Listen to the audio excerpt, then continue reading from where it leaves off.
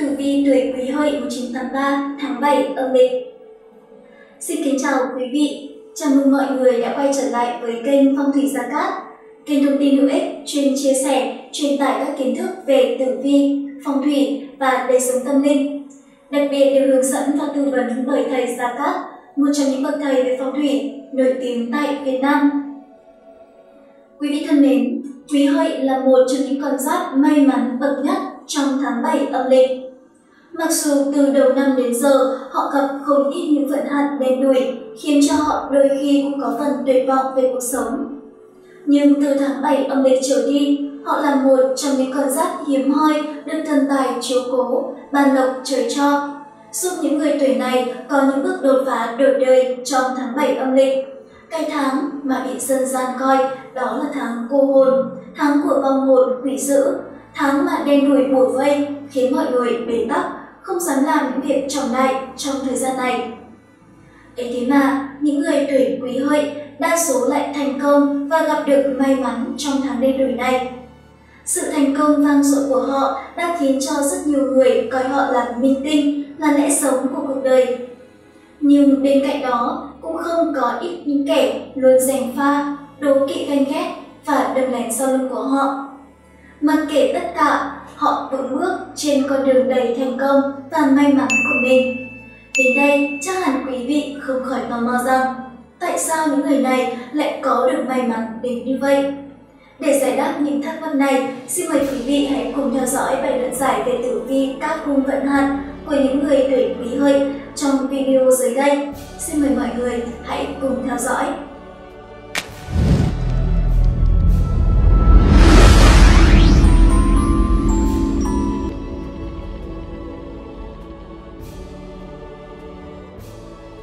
Phần đầu tiên của chương trình là phần tổng quan của gia chủ tuổi Quý Hợi trong tháng 7 âm lịch năm 2021. Người tuổi Quý Hợi 1983, mệnh Đại Hải Thủy, không phải là người coi trọng vật chất, chẳng có nhu cầu quá lớn với tiền bạc.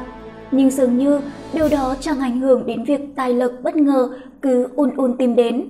Gia chủ tuổi Quý Hợi dường như có khả năng cuốn hút hoạnh tài, vì thế mà có nhiều cơ hội kiếm tiền hơn những người khác. Bản mệnh chỉ cần không mất bình tĩnh là hoàn toàn có được tài lộc dồi dào trong tay. Khi làm việc nên bình tâm tĩnh khí, đừng để những chuyện xung quanh làm ảnh hưởng đến tinh thần làm việc của mình. Trong chuyện tình cảm, họ cũng không phải là người có chính kiến. Đối phương nói gì nghe nấy, đặt đâu ngồi đấy. Tuy nhiên điều đó không có nghĩa là gia chủ tuổi quý hợi không biết phân biệt đúng sai. Với những kẻ nói một đằng là một nẻo, bản mệnh sẽ từ chối tin tưởng thất vọng mà dần mất niềm tin và tình cảm. Mệnh chủ không phải là người lãng mạn, không sống với những chuyện ngôn tình nên cần tìm một người có trách nhiệm yêu thương mình. Tháng này, vận trình của gia chủ tuổi quý hợi không tốt trên mọi khía cạnh. Công việc của bản mệnh đang dần có dấu hiệu xa sút theo đó là sự hao tổn về tài lộc. Gia chủ cần vững vàng hơn trên con đường mình đã lựa chọn. Năm nay, bản mệnh sẽ rất vất vả để kiếm tiền. Tuy nhiên, có qua lửa mới biết vàng tốt, chỉ cần mệnh chủ cố gắng thì không gì là không thể. Tháng này, mệnh chủ cũng cần chú ý đến sức khỏe và các mối quan hệ ở xung quanh mình. Quý âm thủy gặp bính dương hỏa nên gọi là chính quan, nghĩa là thân bị khắc. Trong tháng này, cần chú ý lời ăn tiếng nói, cẩn thận những thị phi từ miệng mà ra. Làm việc với cấp trên cần khôn khéo, tránh bị áp chế sắp đặt, ảnh hưởng đến công việc. Đặc biệt trong năm 2021, thái tuế là sửu, để cho vận trình sự nghiệp, tài lộc, sức khỏe và gia đạo được hành thông thuận lợi. Thầy Gia Cát khuyên mệnh chủ hãy luôn mang theo bên mình một kim bài thái tuế để nghênh đón thái tuế, mang lại may mắn, bình an. Đặc biệt kim bài thái tuế của kênh phong thủy Gia Cát được thầy Gia Cát trực tiếp khai quang, chỉ chú, xem ngày sử dụng cho gia chủ tuổi quý hợi sinh năm 1983 để mang lại tác dụng phong thủy tốt nhất hiện nay mệnh chủ hoàn toàn yên tâm khi sử dụng kim bài thái tuế của thầy. Quý vị thân mến, trong phần tiếp theo của chương trình, cây phong thủy Gia Cát xin chia sẻ rõ vận trình của gia chủ tuổi Quý Hợi trong tháng 7 âm lịch qua từng phương diện cụ thể của cuộc sống. Thứ nhất, về sự nghiệp quan vận. Qua tháng 7 âm lịch, công việc của mệnh chủ bắt đầu xa suốt, bản mệnh gặp phải đủ chuyện phiền phức rắc rối, không thể nào kiểm soát được tình hình. Dù bản mệnh đã cố gắng để có thể đảm bảo được tiến độ công việc, nhưng không được như ý. Tình hình trước mắt biến động liên tục khiến cho bản mệnh trở tay không kịp, có nhiều vấn đề chưa kịp giải quyết thì đã phát sinh nghiêm trọng hơn, sẽ gây ra sự cố bất ngờ.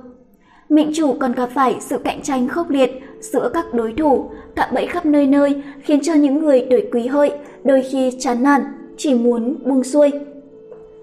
Công danh sự nghiệp bị cản trở, suy nghĩ tiêu cực bi quan sẽ khiến cho gia chủ tuổi quý hợi sẽ đánh mất đi quyết tâm của mình.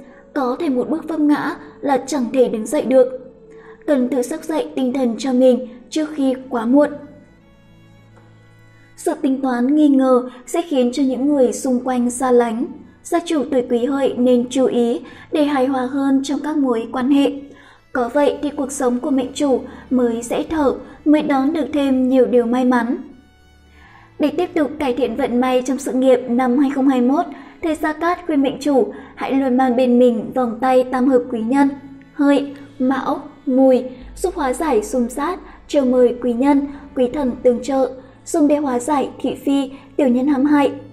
Khi những điều xấu không còn, tốt đẹp sẽ đến với mệnh chủ, từ đó tài lộc kéo đến ầm ầm, may mắn không gì bằng.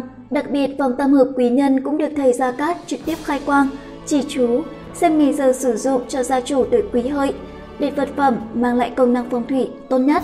Thứ hai, vì mặt tài lộc, tiền bạc.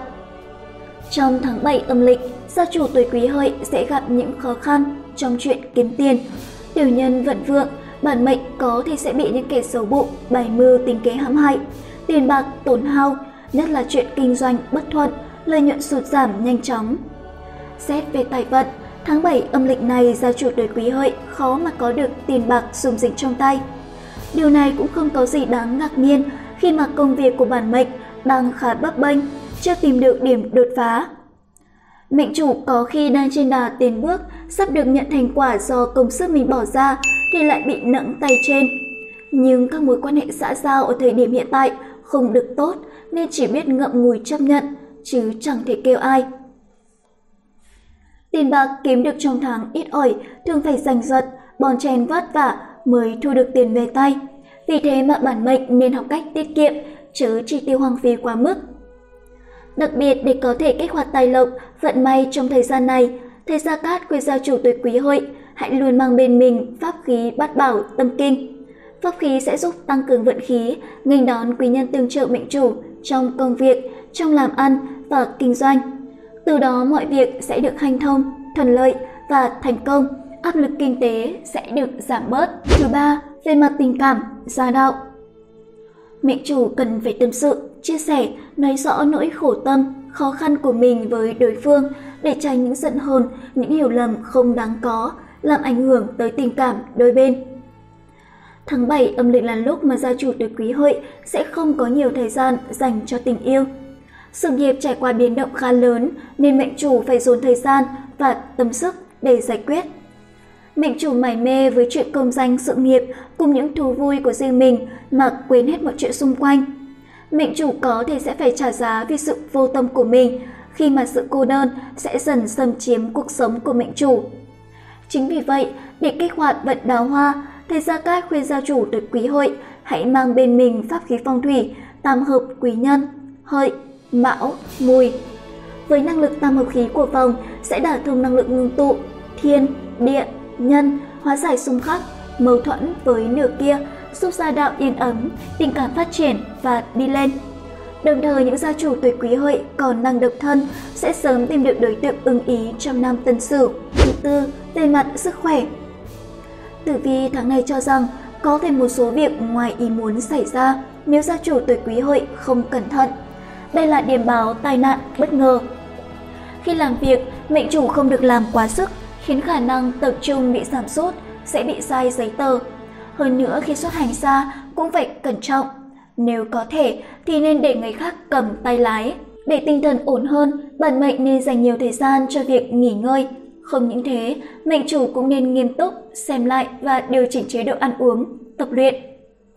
Các gia chủ tuổi quý hợi sinh năm 1983 hãy luôn mang bên mình pháp khí phong thủy, minh quang, pháp bảo đây là vật phẩm phong thủy có tác dụng kỵ tà, hóa sát, đem lại may mắn, bình an, sức khỏe cho gia chủ.